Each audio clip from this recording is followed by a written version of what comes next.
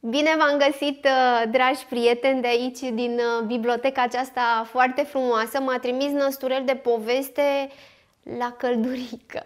S-a mai răcorit afară și deși mie îmi place afară și e așa foarte frumos să spui uh, povești uh, ascultând păsările cum cântă, urmărind copacii, cum își mai clatină crengile, totuși e bine și într-o bibliotecă, nu? Pentru că întotdeauna într-o bibliotecă se află povești nenumărate.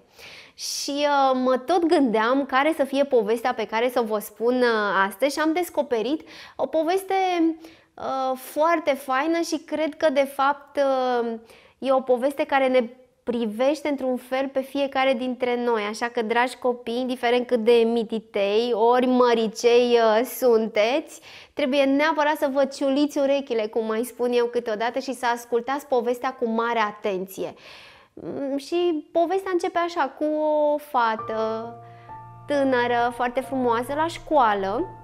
Numele ei este Fiona. M-ați văzut vreodată desenele cu Shrek? Acolo prietena lui Shrek se numea Fiona. Așa și în povestea noastră pe fată o cheamă Fiona și era o fată foarte prietenoasă. Îi plăcea mult să-și facă prieteni și avea grijă cum se întâmplă câteodată printre noi să cunoaștem oameni care întotdeauna au grijă să-și cultive prieteniile. Așa și Fiona avea grijă să-și cultive prieteniile, adică să găsească cât mai mulți prieteni care să fie în jurul ei.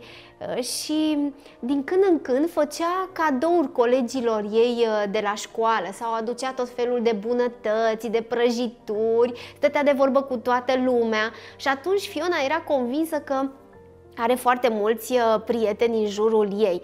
Ba chiar uh, s-ar fi dus oriunde să spună să știți că eu am cei mai mulți prieteni din școală și se mândrea cu acest lucru. Ei, lucrurile însă s-au schimbat într-o zi cu totul specială din an, Ziua Națională a Prieteniei. În această zi națională a prieteniei, toți colegii ei și Fiona, de asemenea, au început să realizeze uh, tot felul de desene, de picturi, să construiască niște cadouri și fiecare coleg din clasa Fionei trebuia să construiască trei cadouri și să-și aleagă trei colegi din clasă pe care îi considera ca fiind cei mai buni prieteni ai săi, adică ai colegului respectiv sau ai colegei respective. Fiona iubea această zi foarte mult și îi plăcea gândul că își va alege dintre toți prietenii ei trei prieteni cei mai buni. Așa că și ea a pregătit uh, cadoul, le-a pus în cutiuță, le-a împachetat cu fundiță și a așteptat să vadă cine o va alege pe ea. A fost așa cum uh, se organizează câte, uh, câteodată de sărbători, nu? De Crăciun, de exemplu, pregătim uh, câte un cadou surpriză pentru un coleg sau pentru un prieten și așteptăm să fim și noi chemați, să vedem ce cadou ni s-a pregătit. Așa era o emoție în toată clasa și fiecare copil aștepta să vadă de cine este ales. Fiona, atunci când a venit rândul ei, a strigat și ea și a dăruit cu bucurie cadoul celor trei prietene bune pe care le-a ales să le dăruiască cadourile pregătite cu mânuța ei.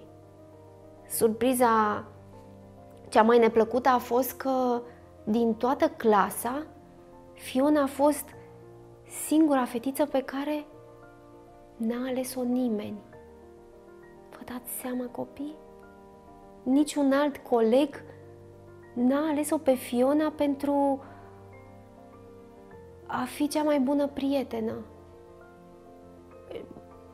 Și nu doar că n-a înțeles ce s-a întâmplat, dar a izbucnit în plâns. Lacrimile nu și le mai putea controla, îi curgeau și roaie din ochișorii ei și nu înțelegea ce se întâmplă. Au venit colegii la pauză să o mângâie, dar stăteau fiecare câte puțin și pleca fiecare dintre ei mai departe, să se joace cu ceilalți, cam cum făcea ea, de fapt, cu prietenii ei, având așa de mulți prieteni întotdeauna, stătea câte puțin cu fiecare dintre ei.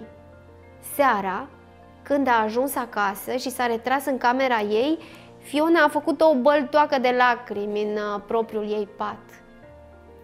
Ce ai pățit, scumpa mea? A întrebat-o mama care a intrat în camera ei auzind-o plângând.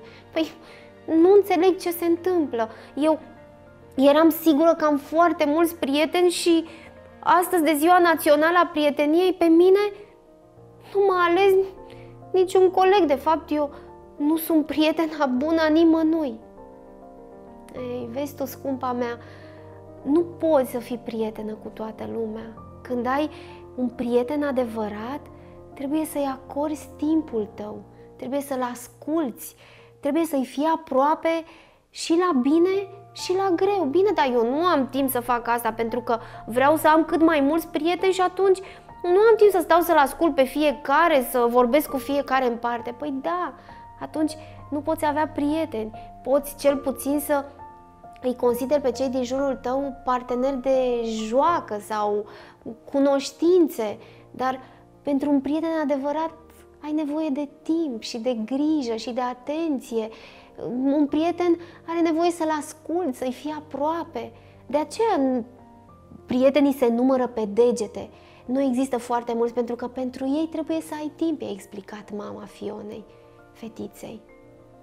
Și Fiona a stat și s-a gândit că de fapt, ea nu stătea niciodată prea mult cu câte vreun copil, prieten de-al ei, coleg, pentru că dorindu-și să aibă foarte mulți prieteni, să um, se laude cu cât mai mulți prieteni, de fapt, ea era drăguță, spunea câte o vorbă bună pentru fiecare, dar nu era atentă la nevoile lor, la gândurile lor, la problemele lor, la tot ceea ce spunea fiecare. Și după ce mămica a ieșit din camera ei, sărutând-o pe frunte și mângâind-o, explicându-i că nu trebuie să te lauzi cu mulți prieteni, dar trebuie să te bucuri de câțiva prieteni buni și că mm, prietenia înseamnă atât de mult și înseamnă și foarte mult timp pe care să-l acorzi prietenului tău. Ieșind mama așadar din cameră și lăsând-o pe Fiona cu toate gândurile acestea în mintea ei, Fetița n-avea somn în patul ei și se uita spre tavanul alb al camerei, întunecat și luminat doar de o luminiță din afara ferestrei care intra pe geamul ei. Fiona a stat și s-a gândit cum să facă, să-și găsească și ea niște prieteni adevărați. Și apoi s-a gândit la mama ei, cum uh, se purta mama ei cu ea și și-a dat seama că, uite, de exemplu, mama, și-a spus Fiona, mama e întotdeauna lângă mine. Mă ascultă mereu, uh, are răbdare uh, cu mine și când am probleme și când sunt bucuroasă, mă mângâie întotdeauna și mă iubește necondiționat. Mama este pentru mine o prietenă adevărată, și-a spus Fiona. Și dându-și seama de acest lucru, un zâmbet până la urechi. I-a cuprins chipul, dându-și seama că ea are, de fapt, cea mai bună prietenă din lume. Că de ce trebuie să caute în atâtea locuri când prietena cea mai bună a ei se afla acolo. Era mama ei, care o iubea oricând necondiționat, care o asculta ori de câte ori avea nevoie, care o înțelegea și o sfătuia și o mângâia și n-ar fi trădat-o niciodată. Mm? Ce ziceți, prieteni? Mm, da, până la urmă, de cele mai multe ori, părinții ar trebui să ne fie cei mai buni prieteni. Și apoi, sigur, sunt și ceilalți, câțiva numărați pe degete, puțini și buni, cum s-ar spune. V-ați simțit și voi vreodată precum uh, Fiona? Dacă da, sau dacă nu, sau dacă v-a plăcut povestea, știți, aștept ca de fiecare dată să-mi trimiteți un mesaj, să-mi scrieți și să-mi spuneți, Adriana, voi spune și eu povestea aceasta și la școală, colegilor mei sau în cercul meu de prieteni pentru că e o poveste tare, tare faină. Și ca să-mi spuneți toate aceste lucruri, nu aveți la îndemână decât un mesaj pe care să-l trimiteți la numărul de telefon mobil 0740 171 622. Pe curând, dragii mei! Și vă doresc să aveți cei mai buni prieteni din lume. Să aveți grijă!